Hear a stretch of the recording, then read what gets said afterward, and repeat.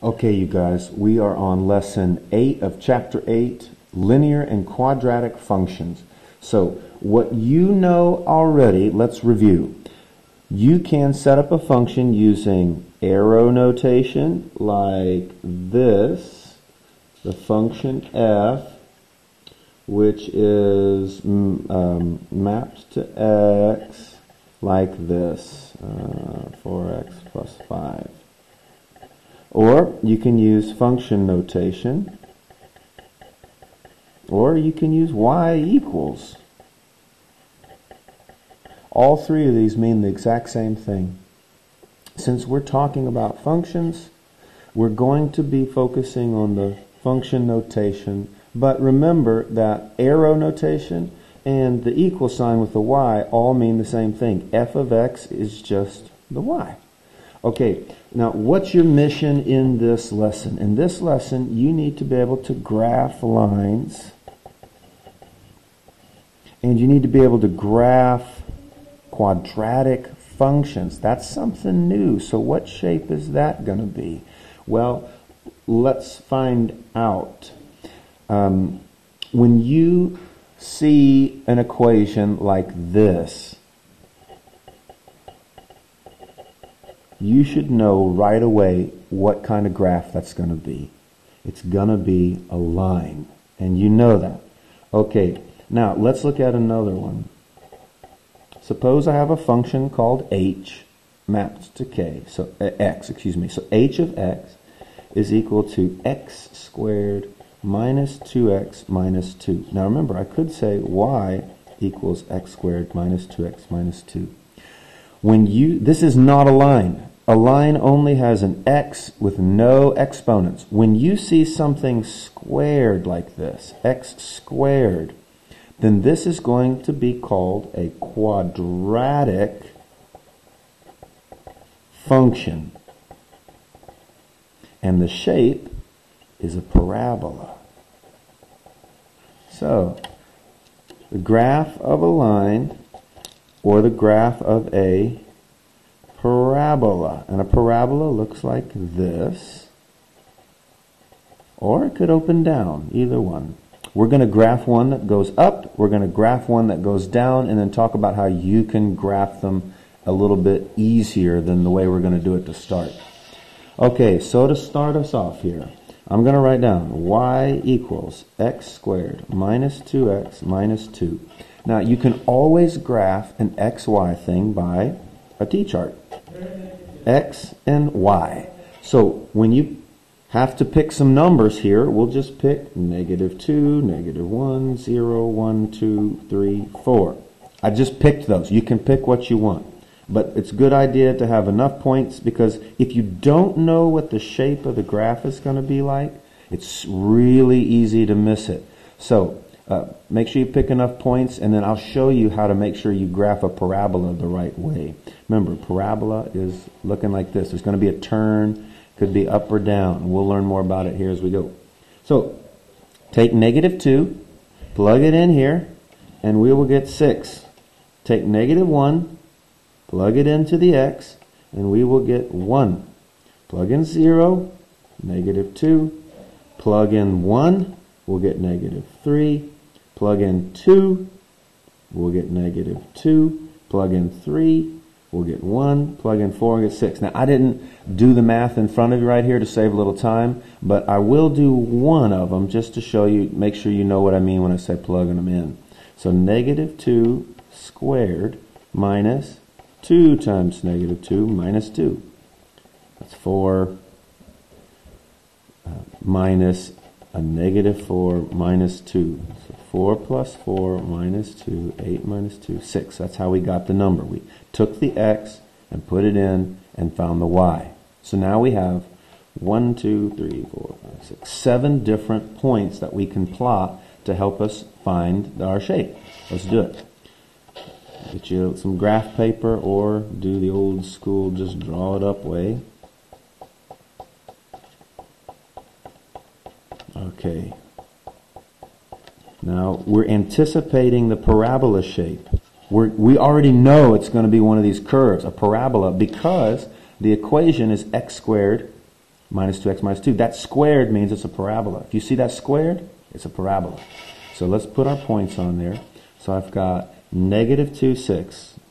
1, 2, 3, 4, 5, 6. Negative 2, 6. Negative 1, 1. 0, negative 2.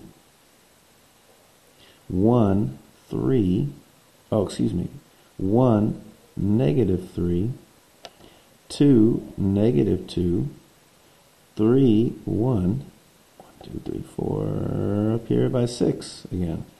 Okay, can you kind of see the curve? Now, this is not anywhere near enough points. If you just connect them, you're going to look like some kind of Frankenstein V. So what we're going to do is we're going to smooth it out as we draw. Uh, well, as best you can. You can do better than me, so go for it. Okay, so there's our parabola. We did it. Now, there's a couple things we need to notice about a parabola graph. One, is that when it opens upward, this point, which is um, 2, negative 2, is the minimum point. Oh, excuse me, I did that wrong. That's not 2, 2. I meant the very bottom one. It's the 1, negative 3. This is the minimum point, and uh, it's the lowest that the y will go. So what's the minimum value of this parabola? The minimum value of this parabola is negative 3. This graph will never have a y of something less than negative 3 because it just keeps going up. Okay? So the least value of this function is negative 3. The minimum point is 1 negative 3. And something else to notice. This line holding this point is like a mirror for the two sides. I didn't draw it super awesome, but you get the idea. This side maps onto this side right here. This is called the axis of symmetry. And it is equal to the line x equals 1. That's its axis of symmetry. Okay, um, this point's called the vertex. It's the hinge. So we have the vertex of 1, negative 3, and we have the axis of symmetry, 1. Okay, let's do another one that opens down. Let me get my paper ready. Okay, so we graphed one that opened up. Now let's graph another one that opens down. y equals negative x squared plus 2x plus 2. I'm going to pick my points, and to save time, I'm not going to do the calculation, but I want you to remember that every x that we pick, you plug in here, and then we can graph it. So I've got negative 2, negative 1, 0, 1, 2, 3, 4. Again, these are just points we picked to make it work. So when I plug it in, I'm going to get negative 6, negative 1, 2, 3, 2, negative 1, and negative 6. Now, we get our graph ready, and I already told you it's going to open down. So we're going to go 1, 2, 1, 2, 3, 4, 5, 6. There's one Negative 1, negative 1, 0, 2, Hold on. What am I doing wrong here? Uh, negative. Oh. Yeah. Negative 2, negative 6. Right. 2, 3, 4, 5, 6. Negative 2, negative 6. 0, 2, 1, 3. 2, 2. 3, negative 1. And 4, negative 6. Okay, I'm going to see if I can do this better than I did that last one. Oh, so smooth. That's like butter on a hot biscuit right there. That's how smooth that is. Look at that. That's nice. Okay, so there it is. It opens downward. Now, since this one opens down, this is no longer a minimum point. This is a maximum point because look, it's the highest the y value will ever get, and it is 1, 3. So the maximum value or the greatest value is 3. The maximum point is 1, 3, which is also called the vertex again. It's the hinge point. And then the axis of symmetry is x equals 1. Okay, so now here's, we're going to generalize this because you need to learn how to handle any parabola that gets thrown at you. So here it is. Um, f of x is equal to ax squared plus bx plus c. Now if I, uh, and you can always remember that the f of x is another way to refer to the value of the function or y. So either one of these are the same thing. And don't forget arrow notation. It's all good. Okay, here's a tip.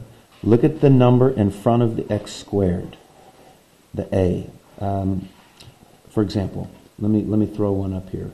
y equals x squared plus 4x minus 2, y equals negative 4x squared minus 2x plus 9, y equals 1 half x squared plus 4x minus 1. Okay, a is the number in front of the x squared. If there is no number, we, we just remember there's a 1 there.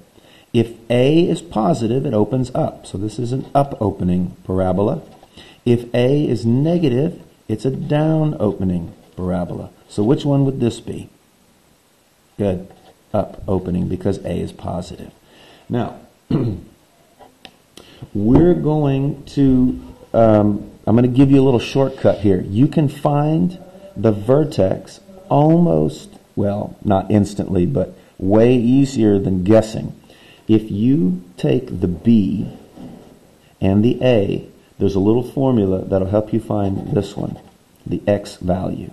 You can always plug in negative B over 2A and find the vertex um, coordinate by, by finding the x. And then you plug that back in to find the y.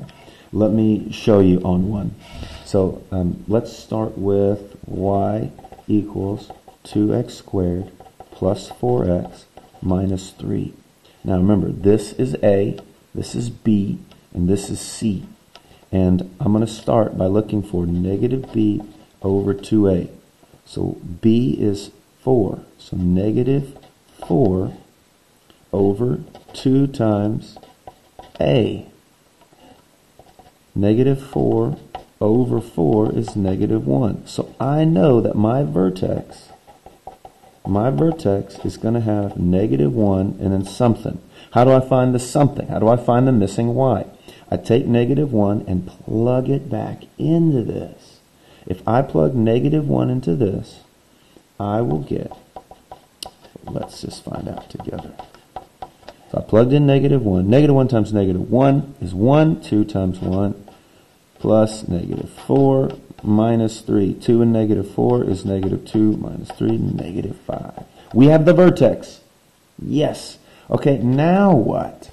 We have the vertex, but we need to be able to graph it. Well, let me write this down again so you can see what we're doing here. So I've got y equals 2x squared plus 4x minus 3, and I know my vertex. Um, oh, does this one open up or down? It's going to open up, and we know what this is going to be. So we're going to use this tip right here and slap it right here in the middle, negative 1, negative 5, because since this is a mirror, we want to pick maybe two points here, two points there. So when we start with negative 1 in the middle, then let's go backwards and maybe pick negative 2 and then negative 3. Those are smart points to pick because it's on this side of the vertex. Then we'll scoot over by going to the right and pick 0 and 1. So we found the middle and picked 2 on each side of it so we know we'll take care of our graph. So plug in negative 3 and you'll get 3. Plug in negative 2 and you'll get negative 3. Plug in 0, you get negative 3. Plug in 1, and you get 3. Now, we have a good sense of this graph just from five well-chosen points, one of them which is the vertex. So I'm going to go negative 1, 1, 2, 3, 4, 5, and I know that's my vertex, and I'm expecting it to go like this up. So let's plot the rest. Negative 3, 1, 2, 3, right there negative 2, 1, 2, 3. Then I'm going to be on this side, and it should mirror right here on the axis of symmetry. So I'm going to go 0, 1, 2, 3, and then 1, 3. And it did. It mirrored perfectly. So now we can sketch it in. Remember to make it curved. Do the best you can. There it is. Okay. We did it. Um, you should make sure you label the vertex. You should label the axis of symmetry. x equals negative 1. And we're done. That's what you're going to have to do. They're going to ask you to graph linear functions. And remember, there's the slope-intercept form of the line, the intercept of the y-axis, and the slope of the line. And now we have um, quadratic functions. ax squared plus bx plus c. All right, you guys try some of the problems. Let me know if you have any questions.